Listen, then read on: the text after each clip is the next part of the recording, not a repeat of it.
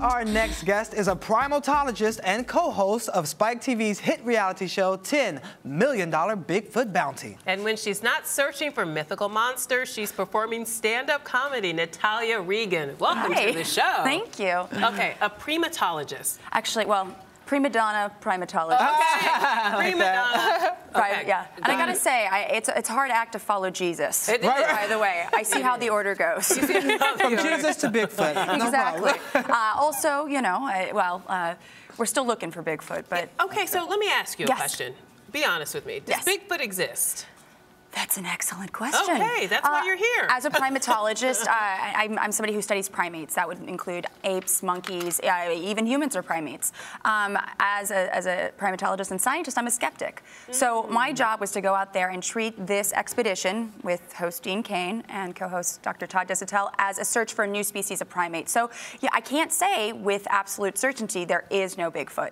Um, but I also, as a scientist, am a heavy skeptic. Okay. And so um, you have not found Bigfoot as Yet. of yet. No. But Not you're yet. not ruling out the possibility Yes. of one day finding One Bigfoot. day, I mean, one day. Okay. He's so- the hide and go seek champion of the world, right? I mean, Yes. this guy. Maybe he's true. hanging out with the Loch Ness monster. I, you know what? Him, Yeti. I bet they have like reunions Yeah. every so El Chupacabra Yeah. joins in, maybe It's- a unicorn. Yeah, and Snuffleupagus. Oh, yeah. God. Where's Waldo? Or- yeah, exactly. All of them, we need a show with all of them. But why do you think people are just so preoccupied with Bigfoot, and why has the show been such a big hit? Well, I think uh, there's a huge squatcher community, first and foremost. There's What a lot do they of call them? they're called squatchers. That- Squatchers. Exactly, Sasquatch. Sasquatch. exactly. Uh, and they Oh. uh, actually that's a lifestyle. They go out and actually looking for uh, Bigfoot or Sasquatch uh, in all over the United States, not just in the Pacific Northwest where we were.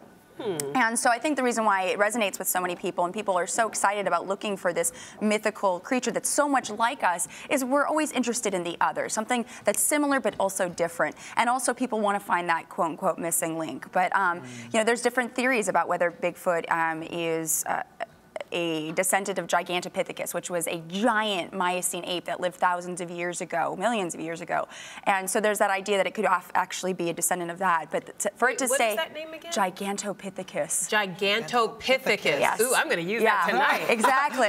Excuse me. Gigantopithecus. Yes, exactly. Ooh, yeah, there, nice. that, there's actually a couple different um, species of Gigantopithecus, and one was huge. But the, what I would always explain to squatchers is we don't know a lot about that species. So to say, and that species was thought to be a vegetarian, it was thought to uh, walk on its knuckles, and what uh, the squatchers are saying is no, Bigfoot walks on two legs, is a fierce hunter, has you know. F- Claws that you know can rip flesh. teeth and- Exactly. And as a primatologist, I have to give them information telling them actually no, uh, large body primates generally are vegetarian. They all primates have nails, not claws, and generally primates walk you know either on their knuckles or they're like us, they're bipedal or they brachiate through trees. There's different modes of locomotion. So explain to us how the show works and how these people go about trying to find Bigfoot, because there's a lot of science behind it as There's well, right? tons, and that was a huge draw of the show was the science that we had a, um, a mobile DNA lab Oh, really? Yep, Dr. Todd Disotell, the lovely man with the mohawk, is a dear friend, and he actually put together this great mobile DNA lab that I taught the. Um, uh, a lot of the squatchers, the contestants, how to correctly collect biomaterials. And they would bring these biomaterials back, and that means anything from poop, very So, like, sexy. fecal matter, Fecal matter, hair hair, saliva, Saliva. blood, skin, if they found it, and they, and even you know, environmental DNA. So, say for instance, uh, if Bigfoot took a bite of a Snickers bar and left it on this table, I could come back, swab that saliva, you know, and, and put it through the processor and and de- determine what DNA or what actual individual took a bite out of that Snickers bar. But we can use that with like feathers. Uh, we actually were able to spin feathers and figure out what ate that particular bird, or we could you know use a twig. So it was a really cool way of determining um, what is in the environment without actually seeing what's in the environment. So you could actually find Bigfoot without actually having your eyes on him. So you're like You CSI are- for Bigfoot. Yeah. That's cool. Exactly. Yeah, exactly. CSI for Bigfoot. That's a great way of, of looking at it. And so, uh, you know, this was a great way to uh, teach these squatchers how to think like scientists. You are fascinating. How does Thank a you. primatologist, though, end up on a reality show about Bigfoot? Right. E- Well- Explain how that came to be. It's yeah, eh, the world. The world is funny. Um, I'm a sci- uh, I'm a scientist, but I'm also a comedian. I, I do. Uh, I make comedy videos that explain uh, science using humor, like the evolution of breasts in women. Uh, men, women both want to know why human women have boobs because non-human primates. Why? Well, there's the idea that as we evolved uh, to walk from being on all fours to being upright walking hominids, you can no longer see our you know, undercarriage. Okay. And so uh, breasts uh, that we have permanently at, at um, at puberty are a sign that we've reached uh, sexual maturity. So men know, hey, that girl right there is is ready to procreate. She's ready to, you know, get down. Have children. Exactly. So more important question: Why do guys have nipples then? well, that actually that's a great question. versus- we have breasts. Exactly. We have that's fat a that- telltale sign. You only okay, have but why do we have? it? Well, because there's no reason necessarily to get rid of the uh, Right. the ability to have uh, nipples because it, it doesn't they don't serve a purpose, but it's kind of a survival. It's something that's that's left around. Um, you, all as we start off as um, uh, embryos, we all have the the ability to have nipples. It's just when we choose the female sex or when we become females, that's when you know at, at puberty you get the fat around the mammary um, glands, and that's yeah that's how why we Learning have so these. much today. So let's talk about Bodacious tatas. Superman. You said bodacious I said, but hello. Hello. Hello.